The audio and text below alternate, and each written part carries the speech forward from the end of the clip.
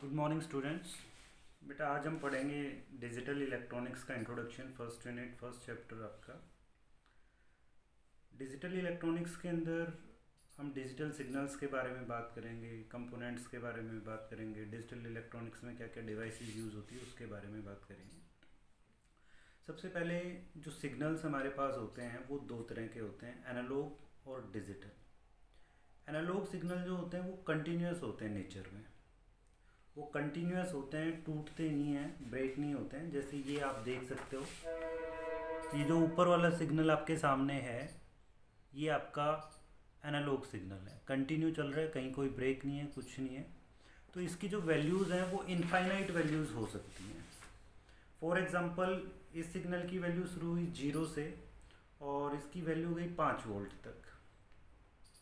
तो ज़ीरो से पाँच के बीच में वन भी आएगा, टू भी आएगा, वन पॉइंट वन भी आएगा, one point one one one one भी आएगा तो इसकी वैल्यूज़ इनफाइनाइट भी हो सकती हैं। ये तो बात थी एनालॉग सिग्नल की। एनालॉग सिग्नल जो होता है कंटिन्यूस होता है नेचर में और इनफाइनाइट वैल्यूज़ उसकी एग्जिस्ट कर सकती हैं। अलग अलग टाइम पे अलग अलग वैल्यू होती है। उसको हम बोलते हैं इंस्टेंटेनियस वैल्यू। किसी पर्टिकुलर इंस्टेंट पे उसकी क्या वैल्यू? उसके बाद आता है डिजिटल सिग्नल। वैसे तो डिजिटल सिग्नल कई तरह के हो सकते हैं, लेकिन एक डिजिटल सिग्नल आप इस पेपर में देख सकते हो, ये आपका एक डिजिटल सिग्नल है। तो इसके अंदर आप देख रहे हो सिर्फ़ दो वैल्यू हैं, या तो वन है या फिर ज़ीरो है। तो वन जो है, वो फॉर एग्जांपल पाँच वोल्ट जो है, वो वन को रिप्रेजेंट करिए और ज़ीरो वोल्ट जो है, वो ज़ीरो को रिप्रेजेंट करिए तो इस तरह का जो सिग्नल होता है, उसको हम डिजिटल सिग्नल कहते हैं, या कहें कि बाइनरी सिग्नल हम उसको कहते हैं। ठीक है? तो आपने सुना भी होगा कि कंप्यूटर के अंदर या इलेक्ट्रॉनिक्स के अंदर जनरली क्या होता है कि वो वन ज़ीरो वन ज़ीरो की लैंग्वेज समझता है। तो कहने का मतलब है कि वो डिजिटल सिग्नल होता है, वो सिर्फ़ डिजिटल सिग्नल को समझता है, उसके अलावा उसे कुछ समझ नहीं आता। वो सिर्फ़ वन ज़ीरो वन ज़ीरो इनको समझता है, उसके अलावा वो कुछ नहीं समझता है। ठीक है? तो इसके अंदर आपने ध्यान दिया हो कि जिसकी वैल्यू ज़्यादा थी, जिसको, जो पाँच वोल्ट का सिग्नल था, उसको मैंने वन का जो ज़ीरो वोल्ट का सिग्नल था, उसको मैंने ज़ीरो का तो ये पॉजिटिव लॉजिक है। जब हम हाई वोल्टेज को वन लेते हैं और लो वोल्टेज को ज़ीरो लेते हैं तो ये पॉजिटिव लॉजिक होता है। उल्टा भी हो सकता है कि हम हाई वोल्टेज वाले को तो ज़ीरो कहें और लो वोल्टेज वाले को वन कहें। तो उसको हम कहते हैं नेगेटिव लॉजिक तो दोनों तरह के लॉजिक हो सकते हैं। नेगेटिव लॉजिक भी हो सकता है पॉजिटिव लॉजिक भी हो सकता है। ठीक है? That depends on the application and need तो इसके अंदर तो वैल्यू मैंने आपको बताया कि भैया तो पाँच वोल्ट है या ज़ीरो वोल्ट है। लेकिन ज़रूरी नहीं है ऐसा ही हो। उल्टा भी हो सकता है। वो अभी बताया कि भाई वो return to zero non return to zero दो तरह के सिग्नल्स होते हैं आपके। ये जो अभी आप सिग्नल देख रहे हो, सबसे नीचे वाला जो डायग्राम है, इसमें आप देख रहे हो वैल्यू आपकी, ये जो ज़ीरो वाली लाइन है, इससे ऊपर भी जा रही है और इससे नीचे भी जा रही है। तो इससे ऊपर जो वैल्यू जा रही है, वो वन है। नीचे की तरफ़ जो जा रही है, वो ज़ीरो है। तो मतलब पाँच वोल्ट जो है वो वन को रिप्रेजेंट कर रहा है और माइनस पाँच वोल्ट जो है वो ज़ीरो को रिप्रेजेंट कर रहा है। या उल्टा भी हो सकता है। माइनस पाँच वोल्ट वन को रिप्रेजेंट करे और पाँच वोल्ट ज़ीरो को रिप्रेजेंट करे। तो वही हो जाता है नेगेटिव लॉजिक जब हम ज़्यादा वोल्टेज को वन कहें और कम वोल्टेज को ज़ीरो कहें तो वो पॉजिटिव लॉजिक होता है। कम वोल्टेज को वन कहें और ज़्यादा वोल्टेज को ज़ीरो कहें तो वो नेगेटिव लॉजिक हो जाता है। क्लियर तो मैंने अभी बताया दो तरह के होता है return to zero non return to zero तो बाइनरी सिग्नल्स के अंदर ये वाला जो पहले वाला मैंने आपको दिखाया था, जिसमें ज़ीरो वोल्ट को भी हम कुछ मानते हैं वन या ज़ीरो जो भी मानते हैं, उसको हम कहते हैं रिटर्न टू ज़ीरो और ये जो नीचे वाला सिग्नल है, ये है N R Z non return to zero ये ज़ीरो पे आके नहीं रुकता है। इसकी वैल्यू कभी भी ज़ीरो वोल्ट नहीं होती है। ज़ीरो हम मानते हैं, क्योंकि बाइनरी में वन और ज़ीरो के अलावा तो कुछ होता नहीं है। ठीक है? तो हमारे पास दो तरह के सिग्नल्स होते हैं, एनालॉग और डिजिटल। ठीक है? डिजिटल में वैसे बहुत तरह के सिग्नल्स हो सकते हैं, लेकिन जनरली जब डिजिटल की बात आती है तो हम बात करते हैं बाइनरी की। ठीक है? तो बाइनरी सिग्नल्स की हम बात करेंगे और डिजिटल इलेक्ट्रॉनिक्स के अंदर हम बाइनरी ही पढ़ेंगे। तो ऐसी ज़रूरत क्या पड़ी कि भाई एनालॉग होता है, डिजिटल होता है? क्यों हम एनालॉग पढ़ते हैं? क्यों हम डिजिटल पढ़ते हैं? जब से इलेक्ट्रॉनिक्स बनी है या इलेक्ट्रॉनिक्स नहीं भी थी, सबसे पहले इलेक्ट्रॉनिक्स की डेफिनेशन पे आते हैं कि इलेक्ट्रॉनिक्स होती है। इलेक्ट्रॉनिक्स साइंस की वो ब्रांच होती है या इंजीनियरिंग की वो ब्रांच होती है जो इलेक्ट्रॉन्स के फ्लो को कंट्रोल करती है या चार्ज के फ्लो को कंट्रोल करने की स्टडी करती है। ठीक है? जो इलेक्ट्रॉन्स के फ्लो की स्टडी नहीं करती इलेक्ट्रॉन्स के फ्लो को कंट्रोल करने की स्टडी करती है कि भाई इलेक्ट्रॉन्स का जो फ्लो हो रहा है या चार्ज का जो फ्लो हो रहा है, उसको किस तरह से कंट्रोल करा जा सकता है, कैसे बढ़ाया जाए, कैसे कम करा जाए, हमारी ज़रूरत के हिसाब से, ठीक है? कोई भी चीज़ अपने हिसाब से चली जा रही है तो वो हमारे लिए यूजलेस है। फॉर एग्ज़ाम्पल आप कोई गाड़ी लेते हो या कोई भी व्हीकल लेते हो, अगर वो अपने हिसाब से चलता है तो वो सही नहीं है। उसको आपके हिसाब से चलना चाहिए। जब आप उसको धीरे चलाना चाहो तो वो धीरे चलना चाहिए। जब आप उसको स्पीड से चलाना चाहो तो स्पीड से चलना चाहिए। क्लियर तो इलेक्ट्रॉनिक्स के अंदर भी हम वही चीज़ें पढ़ते हैं कि भाई जो इलेक्ट्रॉन्स हैं, जो चार्ज है, उसका जो फ्लो हो रहा है, उसको किस तरह से कंट्रोल करा जाता है। यही सब कुछ हम इलेक्ट्रॉनिक्स के अंदर पढ़ते हैं। क्लियर तो एनालॉग सिग्नल्स जो हैं, वो जब आपकी इलेक्ट्रॉनिक्स नहीं भी थी, तब भी आपके एनालॉग सिग्नल्स थे। ठीक है? तो बेसिकली एनालॉग सिग्नल से हमारा क्या मतलब है? जैसे मैं बोल रहा हूँ ये भी एक सिग्नल प्रोड्यूस हो रहा है। तो आप सभी ने एक बहुत ही कॉमन सी चीज़ें देखी होगी माइक माइक्रोफोन जिसको आ, कहते हैं शॉर्ट में माइक बोल देते हैं ठीक है? तो माइक क्या करता है कि हम जो भी कोई चीज़ जो भी कुछ बोलते हैं म्यूज़िक चलाते हैं भाई कोई पढ़ रहा है कोई बोल रहा है तो जहाँ पे भी आपने माइक की एप्लीकेशंस देखी जहाँ पे भी माइक यूज़ होता है वहाँ पे आपने देखा होगा कि वो जो बोलता है उसको माइक करता क्या है? माइक उसको एक इलेक्ट्रिकल सिग्नल में कन्वर्ट कर है। ठीक है, एक सिग्नल में कन्वर्ट कर देता है। तो वो कैसा सिग्नल होता है? वो एनालॉग सिग्नल होता है। तो आपको पता है कि जो वॉइस होती है, वो भी क्या होती है? एक सिग्नल होता है। ठीक है, एक वेव होती है। ठीक है, एक वेव होती है। तो ये किस तरह के सिग्नल्स होते हैं? एनालॉग सिग्नल्स होते हैं। ठीक है? भाई कोई भी चीज़ हम जो मेज़र करते हैं प्रेशर है वॉल्यूम है टेम्परेचर है, या आवाज़ की हम अभी बात कर रहे थे, ये सभी किस तरह की चीज़ें एनालॉग सिग्नल्स हैं। अगर हम इसको कन्वर्ट करें इलेक्ट्रिकल फॉर्म में तो भी ये आपके कैसे होंगे? एनालॉग होंगे, ठीक है? फिर अगर हमें डिजिटल चाहिए तो हमें इनको कन्वर्ट करना पड़ता है। जनरली 99.99 परसेंट केसेज में क्या होता है? सिग्नल जो भी, जहाँ से भी जनरेट होते हैं जनरली एनालॉग होते हैं। उनको कन्वर्ट करना पड़ता है, तब जाके वो डिजिटल बनता है।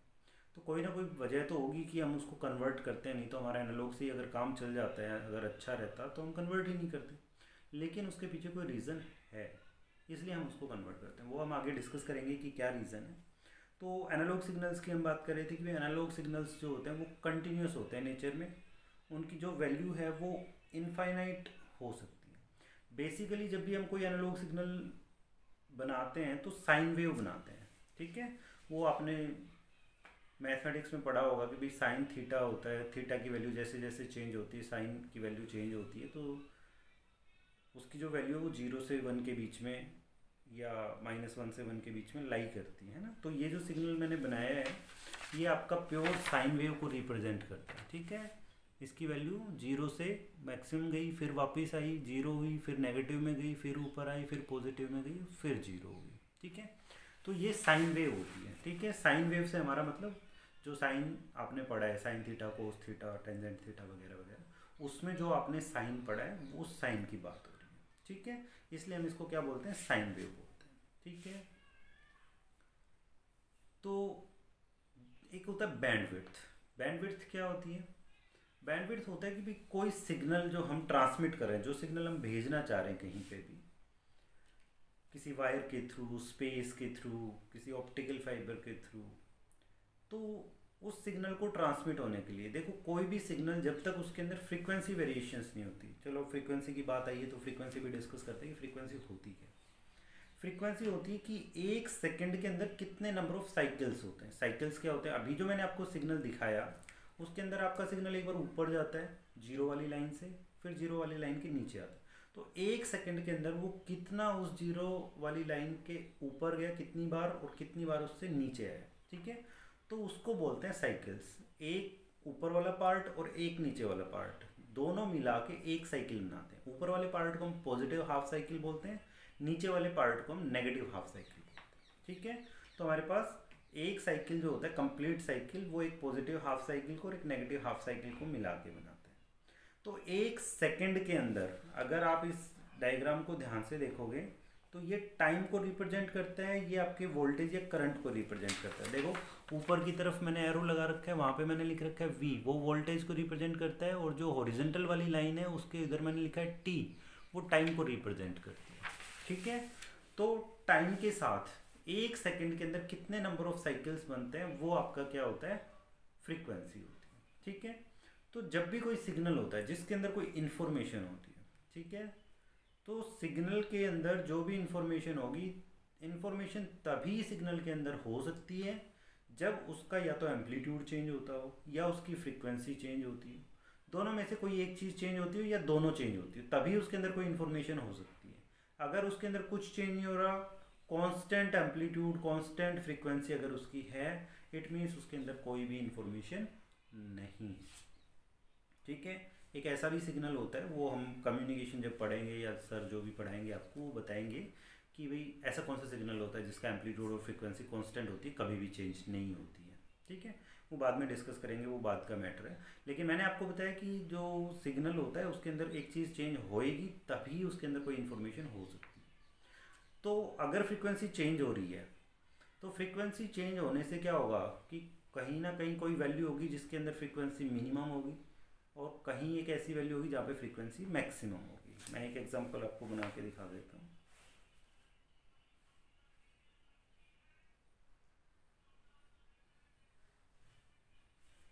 ये देखो, ये जो, ये वाला सिग्नल है आपके पास, इसके अंदर आप देख रहे हो इसकी चौड़ाई कहीं पे कम है और कहीं पे ज़्यादा है। तो जहाँ पे ये गैप कम है, बिल्कुल नैरो नैरो से जो आपको पीक्स दिख रही हैं, यहाँ पे फ्रीक्वेंसी ज़्यादा है। ठीक है? ये गैप जितना कम होगा वो उतनी फ्रीक्वेंसी ज़्यादा है और जितना ये गैप ज़्यादा है, उतनी फ्रीक्वेंसी कम। तो इसके अंदर फ्रीक्वेंसी के अलग अलग कंपोनेंट्स है। कहीं पे फ्रीक्वेंसी ज़्यादा है और कहीं पे फ्रीक्वेंसी इसकी कम है। ठीक है? तो मैक्सिमम फ्रीक्वेंसी और मिनिमम फ्रीक्वेंसी ठीक है? मैक्सिमम फ्रीक्वेंसी और मिनिमम फ्रीक्वेंसी उन दोनों का जो डिफरेंस होता है, उसको हम बैंडविड्थ बोलते हैं। ठीक है? कि उस सिग्नल को ट्रांसमिट होने के लिए, कहीं भी जाने के लिए कम से कम उतनी फ्रीक्वेंसी तो चाहिए। एक एग्ज़ाम्पल डिस्कस करते हैं। आपने आज से 10-15 साल पहले कुछ टीवी देखे होंगे जिनके ऊपर एक एंटीना लगता था छत पे और वो हम यूज़ करते थे। उनके साथ एक केबल आती थी। या सिंपल जो आपके टेलीफोन की वायर होती है, जिसमें सिर्फ़ दो तार होते हैं, कॉपर के दो तार होते हैं, वो वाली केबल हम अपने आज के दिन जो टीवी हम चलाते हैं, केबल से या डीटीएच से, उसमें हम यूज़ नहीं करते। क्यों नहीं यूज़ करते? यूज़ इसलिए नहीं करते क्योंकि उसकी बैंडविड्थ कम होती है। जो पुरानी वाली केबल थी, वो आज जितनी बैंडविड्थ हम यूज़ कर रहे हैं, उसको सपोर्ट नहीं करती। उतनी बैंडविड्थ उसके अंदर से आ ही नहीं सकती। वो जिस फ्रीक्वेंसी का सिग्नल आजकल हमारे पास आता है, उस फ्रीक्वेंसी के सिग्नल्स उस केबल के अंदर से नहीं पास हो सकते। ठीक है? तो कंपैरेटिवली डिजिटल की कंपैरिजन में जब बात करी जाए तो एनालॉग सिग्नल्स जो होते हैं, उनको कंपैरेटिवली कम बैंडविड्थ चाहिए होती है। ठीक है? एनालॉग को क्या चाहिए? कम बैंडविड्थ चाहिए। तो एनालॉग के बारे में अभी अभी हमने क्या क्या बातें करी? एनालॉग के बारे में हमने बात करी कि भी एनालॉग सिग्नल्स जो होते हैं वो कंटिन्यूस होते हैं नेचर में। उनकी वैल्यूज़ इनफाइनाइट हो सकती हैं, ठीक है? और जनरली जो बेसिक सिग्नल हम रिप्रेजेंट करते हैं, वो साइन वेव से रिप्रेजेंट करते हैं। किसकी बात कर रहे हैं? एनालॉग की बात कर रहे हैं, ठीक है? उसके बाद हमने कहा कि भी जो बैंडविड्थ चाहिए होती है एनालॉग सिग्नल के लिए, वो बैंडविड्थ कंपैरेटिवली कम चाहिए होती है। कंपैरेटिवली से मतलब क्या है? डिजिटल के कंपैरिजन में कम चाहिए होती है। वो डिपेंड करता है सिग्नल के ऊपर कि कितनी चाहिए लेकिन सेम चीज़ को ट्रांसमिट करने के लिए एनालॉग में कम बैंडविड्थ चाहिए, डिजिटल में ज़्यादा बैंडविड्थ चाहिए। ठीक है? एक नॉइस होता है, एक वर्ड नॉइस क्या होती है? नॉइस होती है कि आप कोई सिग्नल ट्रांसमिट कर रहे हो और उसके अंदर कोई अनवांटेड चीज़ आ जाए। ठीक है? नॉइस की जो डेफिनेशन होती है, वही उसका मतलब ये होता है कि एनी अनवांटेड सिग्नल वो हो सकता है किसी दूसरे के लिए तो बहुत इंपॉर्टेंट सिग्नल हो लेकिन जब हमें उसकी ज़रूरत नहीं है तो उसको हमारे लिए यूज़लेस बेकार, कोई फ़ायदा नहीं हमें उसका। ठीक है? तो ये हमारे पास क्या है? नॉइस प्रॉन नॉइस प्रॉन का मतलब प्रॉन का मतलब होता है कि वहाँ पे संभावित। ठीक है? कि वहाँ पे क्या है? नॉइस आने के चांसेस ज़्यादा है। एनालॉग सिग्नल के अंदर नॉइस ऐड होने के चांसेस ज़्यादा होते हैं। डिजिटल के अंदर कंपेरेटिवली कम होते हैं। ठीक है? उसके बाद बात आती है कि भाई एनालॉग सिग्नल कहाँ से जनरेट होते हैं? तो मैंने आपको सबसे बड़ा बढ़िया एग्जांपल बता दिया कि भाई जो भी हम कुछ बोलते हैं, जो वेव जनरेट होती है, वो माइक से कन्वर्ट होकर जो इलेक्ट्रिकल फॉर्म में कन्वर्ट हो जाता है सिग्नल वो आपका क्या होता है? एनालॉग सिग्नल होता है। क्लियर तो एनालॉग सिग्नल के बारे में ये सारी बातें थी। अब डिजिटल की बात करते हैं कि डिजिटल में क्या होता है। ठीक है? डिजिटल डिस्क्रीट होता है नेचर में। डिस्क्रीट का मतलब कि ज़रूरी नहीं उसकी हर जगह पे कोई वैल्यू हो। अगर है भी तो उसकी फिक्स्ड वैल्यूज़ हैं उसके अलावा कोई वैल्यू इनफाइनाइट वैल्यूज़ जो हम बात करते हैं ना, वो जनरली उसकी नहीं होती ठीक है? उसकी वैल्यू या तो वन होगी या उसकी ज़ीरो होगी, जब हम बाइनरी की बात करते हैं। लेकिन मैंने कहा कि बाइनरी के अलावा भी डिजिटल सिग्नल्स हो सकते हैं। लेकिन जनरली हम जब भी डिजिटल की बात करते हैं तो हम बाइनरी की बात करते हैं। तो बाइनरी सिग्नल्स जो होते हैं, उसमें दो ही होते हैं। ज़ीरो या वन तो उसकी वैल्यू फिक्स्ड है। दो ही वैल्यू उसकी हो सकती है, तीसरी वैल्यू उसकी नहीं होती। ठीक है? तो बेसिकली जो डिजिटल सिग्नल होता है, उसको रिप्रेजेंट करा जाता है स्क्वायर वेव से। जो अभी मैंने आपको दिखाया था एक मिनट पहले, फिर दोबारा दिखा देता हूँ। ये वाला जो सिग्नल है आपका, ये देखो, ये स्क्वायर से बने हुए हैं ना छोटे छोटे स्क्वेयर्स तो square wave generally binary signal जो होता है, उसको स्क्वायर वेव से हम रिप्रेजेंट करते हैं। ठीक है? उसके अलावा जो डिजिटल सिग्नल है, उसको इजीली आप क्या कर सकते हो स्टोर कर सकते हो। ठीक है? आपका सिग्नल इजीली क्या हो जाता है? स्टोर हो जाता है। फिर हमने बात करी कि भाई बैंडविड्थ बैंडविड्थ जो होती है वो ज़्यादा चाहिए होती है। किसके अंदर?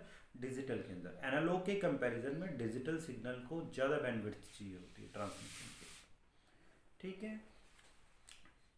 फिर एक बहुत ही इंपॉर्टेंट जिसकी वजह से डिजिटल सबसे ज़्यादा रोल में है आजकल, कि नॉइस इम्यूनिटी इसकी ज़्यादा है। इम्यूनिटी मतलब कि नॉइस इसमें ऐड होने के चांसेस कम है। ऐड हो भी जाए तो ईजिली रिमूव करा जा सकता है। एनालॉग के अंदर बहुत मुश्किल है, अगर एक बार नॉइस ऐड होगी तो उसको रिमूव करना बहुत मुश्किल है। लेकिन डिजिटल के अंदर उसको रिमूव करना ज़्यादा मुश्किल नहीं है ईजिली आप उसको रिमूव कर सकते हो, ठीक है? एग्ज़ाम्पल की हम बात करें तो भाई जैसे अभी तो आपने पढ़ा नहीं है फ्लिप फ्लॉप्स होते हैं शिफ्ट रजिस्टर होते हैं एनालॉग टू डिजिटल कन्वर्टर्स होते हैं तो इस तरह की बहुत सारी डिवाइसेस होती हैं जिनसे डिजिटल सिग्नल आपका प्रोड्यूस होता है, ठीक है? तो ये बात थी डिजिटल सिग्नल्स की और एनालॉग सिग्नल्स की, कि एनालॉग सिग्नल बेसिकली क्या होते हैं डिजिटल सिग्नल क्या होते हैं, क्या उनका कंपैरिजन होता है, ठीक है?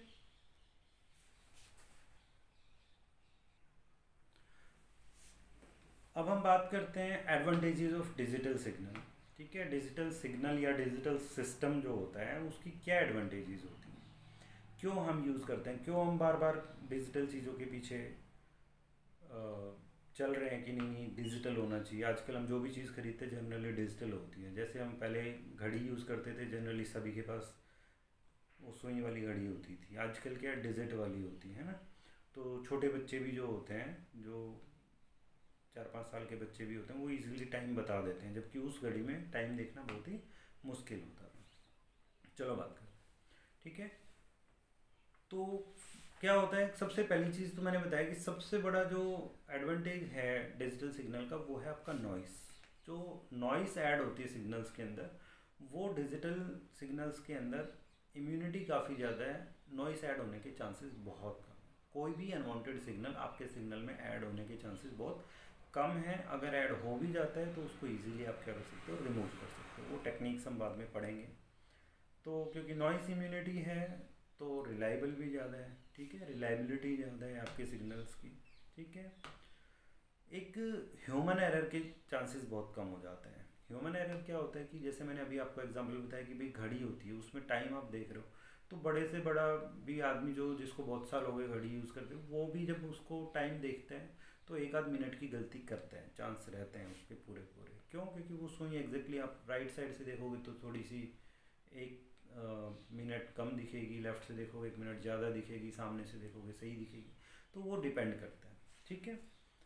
तो उसमें ह्यूमन एरर्स आते हैं। जबकि डिजिटल में क्या है कि आपके सामने लिखा हुआ है कि भाई क्या टाइम है, आपको पढ़ना है वो तो उसमें क्या ह्यूमन एरर होगा, ठीक है? ह्यूमन एरर्स क्या हो जाते हैं? कम हो जाते हैं। ईजी टू यूज़ है। डिजिटल चीज़ों को यूज़ करना आसान है इन कंपेरिजन ऑफ़ एनालॉग ठीक है? फिर जो डिजिटल डिवाइसेस होती हैं, वो कंपेरेटिवली लाइटर होती हैं फ्लेक्सिबल होती हैं। फ्लेक्सिबल से मेरा मतलब पोर्टेबल ठीक है? ईजिली उसका वेट आप देखोगे कम होता है। सेम चीज़ एनालॉग लो सेम चीज़ डिजिटल लो तो डिजिटल का वेट हमेशा आपको कम मिलेगा एनालॉग से, ठीक है? स्टोर डाटा को स्टोर करना आसान है। अभी डिस्कस करा था कि भी जो स्टोरेज है, वो डिजिटल सिग्नल की काफ़ी आसान है। ईजिली आप उसको क्या कर सकते हो? स्टोर कर सकते हो, ठीक है? तो ये सब एडवांटेजेस थी डिजिटल सिग्नल्स की। अब डिसएडवांटेजेस की बात करते हैं कि डिजिटल सिग्नल जो है उसकी कुछ डिसएडवांटेज हर चीज़ की अपनी एडवांटेजेस और अपनी डिसएडवांटेजेस होती है। ठीक है? तो डिसएडवांटेजेस क्या है? बैंडविड्थ सबसे पहले बैंडविड्थ तो बैंडविड्थ जो होती है वो डिजिटल सिग्नल की क्या होती है? ज़्यादा होती है in comparison of analogue signal analogue signal को जितनी बैंडविड्थ चाहिए होती है डिजिटल सिग्नल को हमेशा उससे ज़्यादा बैंडविड्थ चाहिए होती है। उसके बाद एक चीज़ आती है क्वांटाइजेशन देखो, यहाँ पे जब भी हम सिग्नल्स की बात करते हैं या कम्युनिकेशन की बात करते हैं तो दो चीज़ें हम डिस्कस करते हैं। एक तो एरर्स और एक नॉइस नॉइस मैंने अभी आपको बता दिया कि भाई नॉइस क्या होती है? नॉइस होती है। कोई भी अनवांटेड सिग्नल क्या होती है? नॉइस होती है। ठीक है? कोई भी सिग्नल क्या होता है? नॉइस होती है, जो हमें नहीं चाहिए। ठीक है, ऐसा सिग्नल जो हमें नहीं चाहिए, वो हमारे लिए नॉइज़ है। वो किसी और के लिए कितना भी इम्पोर्टेंट हो, किसी और पर्पज़ के लिए कितना भी इम्पोर्टेंट हो, लेकिन अगर हमारे सिस्टम में आ रहा है तो वो क्या है, हमारे लिए नॉइज़ है। दूसरी चीज़ एरर एरर क्या होता है? एरर होता है कि किसी चीज़ को, किसी काम को करते हुए कोई गलती हो, उसको हम क्या बोलते हैं? एरर बोलते हैं। तो एक वर्ड होता है क्वांटाइजेशन तो डिजिटल सिग्नल्स की जब भी बात आती है तो क्वांटाइजेशन एरर होता है। क्वांटाइजेशन एरर को आप ऐसे कर सकते हो, जैसे हम राउंड ऑफ़ करते हैं। राउंड ऑफ़ का मतलब कि भाई मैं आपको कहूँगी भाई ये आपके पास इतने सारे नंबर्स हैं और इनको आपने सिर्फ़ चार वैल्यू पे फिक्स करना है। चार का मतलब कि भाई पाँच सौ हो, हज़ार हो, पंद्रह सौ हो और दो हज़ार हो। तो फॉर एग्जांपल आपके पास था चौदह सौ नब्बे तो आपने उसको किसमें कंसिडर करा? पंद्रह सौ में ऑब्वियसली करोगे, क्योंकि सबसे नज़दीक वो किसके? पंद्रह सौ के। मैंने कहा कि भाई जितने भी नंबर्स हैं, उनको अपने सिर्फ़ चार कैटेगरी में रखना है। कौन सी कैटेगरी में? पाँच सौ, हज़ार, पंद्रह सौ और दो हज़ार। तो चौदह सौ नब्बे को आपने पंद्रह सौ में कर लिया। ठीक है? दो हज़ार बीस को आपने दो हज़ार में कर लिया। लेकिन एग्जैक्टली क्या है? एग्जैक्टली तो उसकी वैल्यू कुछ और है ना। आपने क्या करा? आपने उसको चेंज कर दिया। एग्जैक्ट जो वैल्यू थी, उसको छोड़ के और आपने उसको किसी दूसरी वैल्यू पे कंसिडर करा तो उससे क्या आता है? थोड़ा एरर आता है। है ना? तो जैसे आपने 1490 को 1500 में कंसीडर करा तो जो 10 पॉइंट्स का एरर आया आपका, वो आपका एरर है और उसको ही हम क्या बोलते हैं? क्वांटाइजेशन एरर बोलते हैं। तो जब भी आप एनालॉग सिग्नल को डिजिटल में कन्वर्ट करते हो तो आप क्वांटाइजेशन करते हो, ठीक है? और उसकी वजह से जो एरर्स आते हैं, उसको हम क्या बोलते हैं? क्वांटाइजेशन एरर ठीक है? तो ये आपके पास क्या है? डिसएडवांटेज है आपके डिजिटल सिग्नल ठीक है, उसके बाद आता है कि भाई जो सिस्टम होता है वो थोड़ा सा कम्प्लेक्स हो जाता है। कम्प्लेक्स का मतलब मैंने कहा कि भाई ज़्यादातर जो सिग्नल जनरेट होते हैं वो आपके एनालॉग सिग्नल्स होते हैं। कैसे सिग्नल जनरेट होते हैं? एनालॉग जनरेट होते हैं। आपको डिजिटल चाहिए तो आप उसको कन्वर्ट करते हो। लेकिन ये कम्युनिकेशन का प्रिंसिपल है या ये कहो कि नेचर का प्रिंसिपल है कि इन्फॉर्मेशन जिस फॉर्म में या सिग्नल जिस फॉर्म में स्टार्ट हुआ था लास्ट में जहाँ पे भी वो चाहिए, वो उसी फॉर्म में चाहिए जिस फॉर्म में वो जनरेट हुआ था। बीच में आपने उसके साथ क्या करा, क्या नहीं करा, वो ज़्यादा मैटर नहीं करता है। लेकिन लास्ट में जाके वो उसी फॉर्म में होना चाहिए। फॉर एग्ज़ाम्पल मैं बोल रहा हूँ, और मैं जो बोल रहा हूँ, वो आपके पास टाइप होके आ रहा है। है ना? एक पेपर पे लिख के आ रहा है। आजकल सॉफ्टवेयर आते हैं कोई मुश्किल नहीं है कि मैं जो बोलूँ, वो टाइप हो जाए। लेकिन वो उतना अच्छा नहीं है। अच्छे का मतलब कि जो मैं बोल रहा हूँ, वो तो आप सुन के ही आपको ठीक लगेगा कि भी मैंने क्या बोला है। ठीक है? कहने का मतलब है कि मेरी जो आवाज़ है, वो आपके पास आवाज़ की फॉर्म में ही पहुँचे तो ज़्यादा अच्छा है है ना? तो सिग्नल जिस फॉर्म में स्टार्ट हुआ था डेस्टिनेशन पे लास्ट में जहाँ पे भी उसको पहुँचना था, वो उसी फॉर्म में पहुँचे जिस फॉर्म में वो था। ठीक है? तभी उसका फ़ायदा है अदरवाइज़ उसका कोई फ़ायदा नहीं ठीक है? तो हमें करना क्या पड़ता है कि पहले एनालॉग सिग्नल होता है, उसको डिजिटल में कन्वर्ट करना पड़ता है। फिर जहाँ पे वो चाहिए होता है, फिर वापस उसको डिजिटल से वापस एनालॉग में कन्वर्ट करना पड़ता है। तो दो ब्लॉक दो काम हमारे फालतू के बढ़ गए। क्या काम बढ़ गए? कि पहले उसी सिग्नल को एनालॉग से डिजिटल में कन्वर्ट करा और फिर लास्ट में जाके उसी सिग्नल को डिजिटल से फिर दोबारा से एनालॉग में कन्वर्ट करना पड़ा उल्टा। ठीक है? तो सिस्टम क्या हो गया? बढ़ गया कम्प्लेक्स हो गया, मुश्किल हो गया। ठीक है? तो ये डिसएडवांटेजेस हैं आपके डिजिटल सिग्नल्स की या डिजिटल सिस्टम ठीक है? ये आपके डिजिटल सिग्नल की डिसएडवांटेजेस ठीक है? बेसिकली एडवांटेजेस बहुत हैं, लेकिन डिसएडवांटेजेस भी हैं। ठीक है? हर एक चीज़ की अपनी एडवांटेजेस और डिसएडवांटेजेस होती हैं। अब हम बात करते हैं कि भाई, अभी हमने डिसएडवांटेजेस पढ़ी एडवांटेजेस भी पढ़ी तो हम यूज़ करते क्यों हैं डिजिटल सिग्नल को? हम एनालॉग से ही काम क्यों नहीं चला देते? बीस पच्चीस साल पीछे चले जाओ तो एनालॉग से ही काम चल रहा था, सारी चीज़ें एनालॉग थी। लेकिन फ़र्क है। क्या फ़र्क है? आपने आज से दस पंद्रह बीस साल पहले टीवी देखा होगा। हो सकता है आप में से कुछ की एज पंद्रह बीस साल से कम होगी सॉरी तो फिर भी आपने देखा होगा कि पुराने टाइम में जो टीवी चलते थे, उनकी क्वालिटी क्या होती थी? आज जो टीवी चलते हैं, उनकी क्वालिटी क्या है? सिग्नल की क्वालिटी देखो, स्क्रीन पे देखो, आवाज़ की क्वालिटी देखो। तो क्वालिटी इम्प्रूव हुई ना, है तो साउंड बहुत क्लियर है। वीडियो बहुत क्लियर है, पिक्चर बिल्कुल साफ़ दिखाई दे रही है। पहले क्या होता था, ना आवाज़ साफ़ आती थी, ना वीडियो साफ़ आता था, ब्लर्ड वीडियो आते थे, या इस तरह की बड़ी दिक्कतें आती थी। कुछ चैनल्स साफ़ आते थे, कुछ नहीं आते थे, चैनल्स कम थे। आजकल तो चैनल्स की कोई लिमिट नहीं है। लगभग लगभग सभी के टीवी पे सौ के आसपास चैनल्स आते रहते हैं। तो अभी थोड़ा पैसे की लिमिटेशन हो गई है कि भाई जितने चैनल बढ़ाते हो, पैसे बढ़ जाते हैं तो कुछ लोगों ने कम कर लिया अदरवाइज़ चालीस पचास चैनल तो लगभग लगभग सबके टीवी पे आते ही आते हैं। ठीक है? तो ज़रूरत क्या है डिजिटाइजेशन की? समझ आई गया होगा, बताने की ज़रूरत नहीं है। कि भाई जो प्रोसेस करना होता है, जो नॉइस इम्यूनिटी बढ़ानी होती है डाटा को स्टोर करना होता है, वो सब चीज़ें डिजिटल के अंदर आसान होती है, इसलिए हम डिजिटल को यूज़ करते हैं अदरवाइज़ हम डिजिटल को यूज़ नहीं करते, अगर ज़रूरत नहीं होती ठीक है? तो आज के चैप्टर में हमने क्या क्या पढ़ा? आज के चैप्टर में हमने पढ़ा एनालॉग सिग्नल के बारे में कि भाई एनालॉग सिग्नल क्या होता है, क्या उसकी एडवांटेजेस होती हैं, क्या उसकी डिसएडवांटेजेस होती हैं। फिर हमने पढ़ा डिजिटल सिग्नल्स क्या होते हैं, फिर हमने उन दोनों का कंपैरिजन पढ़ा कि भाई एनालॉग और डिजिटल के अंदर क्या डिफरेंस है, कौन सा अच्छा है, कौन सा बुरा है। बेसिकली कोई भी चीज़ अच्छी और बुरी नहीं होती है, सबके अपने अपने फ़ायदे और नुकसान होते हैं, ठीक है? तो डिजिटल के अपने फ़ायदे हैं, अपने नुकसान हैं एनालॉग के अपने फ़ायदे और अपने नुकसान हैं, ठीक है? उसके अलावा फिर हमने पढ़ा कि भाई क्या डिजिटल सिग्नल जो है, उसके काफ़ी अच्छा मानते हैं यूज़ भी करते हैं, लेकिन फिर भी उसकी क्या क्या डिसएडवांटेज है वो हमने पढ़ी, ठीक है? तो बेसिकली तीन डिसएडवांटेज होती हैं। क्वांटाइजेशन एरर उसके अंदर होता है बैंडविड्थ उसके अंदर ज़्यादा यूज़ होती है सिस्टम ज़्यादा मुश्किल उसके कॉम्प्लेक्स उसके अंदर हो जाता है, ठीक है? तो ये सारी चीज़ें हमने पढ़ी। क्वांटाइजेशन मैंने आपको बताया क्या होता है। बेसिकली बेटा क्या होता है कि जो आपके पास एनालॉग सिग्नल होता है, उसको डिजिटल में कन्वर्ट करने की एक टेक्निक होती है, एक तरीका होता है, एक मेथड होता है। ठीक है? तो उसमें हम क्या करते हैं, उसके अंदर बेसिकली सबसे पहले सैंपल्स लिए जाते हैं। ठीक है? सैंपल का मतलब टाइम इंटरवल फिक्स कर देते हैं। टाइम इंटरवल फिक्स कर दिया कि इतने इतने टाइम के बाद सैंपल लेंगे। तो फॉर एग्जांपल कि उसने एक सेकंड लेकिन बहुत ज़्यादा होता है, एक सेकंड एक सेकंड टाइम नहीं लेते हैं। लेकिन फिर भी एग्जांपल के लिए हम लेते हैं कि हर एक सेकंड के बाद वो चेक कर रहा है कि सिग्नल की क्या वैल्यू है और वो वैल्यू उसके ऊपर, वो उसके सैंपल ले रहा है। ठीक है? तो सैम्पलिंग करता है, ठीक है? फिर उसके अंदर क्वांटाइजेशन करता है। क्वांटाइजेशन मैंने अभी आपको बताया कि भाई जैसे पंद्रह सौ लेना है आपको और वैल्यू एग्जैक्टली फोर्टीन नाइन्टी थी। चौदह सौ नब्बे वैल्यू थी, लेकिन वो उसको क्या लेगा? पंद्रह सौ लेगा। तो वो क्या कर रहा है? उसको क्वांटाइज कर रहा है, ठीक है? तो इस तरीके से वो क्या करता है? उसको कन्वर्ट करता है, ठीक है?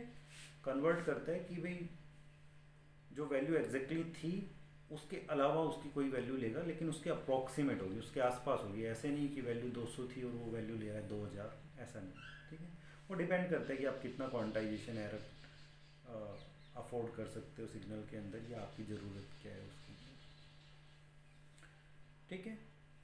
तो अप्लीकेशन की बात करते हैं कि भाई, जो डिजिटल जो सिग्नल होता है, उसकी क्या अप्लीकेशन हो सकती हैं? तो अप्लीकेशन जितने भी आप, जितने भी एग्जांपल आप देखते हो इलेक्ट्रॉनिक्स के लगभग लगभग हर जगह आप यूज़ कर सकते हो डिजिटल सिग्नल को, ठीक है? जहाँ पे भी जो भी आप सोचते हो कि भाई यहाँ पे इलेक्ट्रॉनिक्स यूज़ हो सकती है, वहाँ पे आप डिजिटल सिग्नल को यूज़ कर सकते हो। फॉर एग्ज़ाम्पल कि भाई कहीं पे भी डाटा स्टोर करना है, ठीक है? जहाँ पे भी डाटा स्टोरेज की ज़रूरत पड़ती है डिजिटल सिग्नल यूज़ करा जाएगा, ठीक है?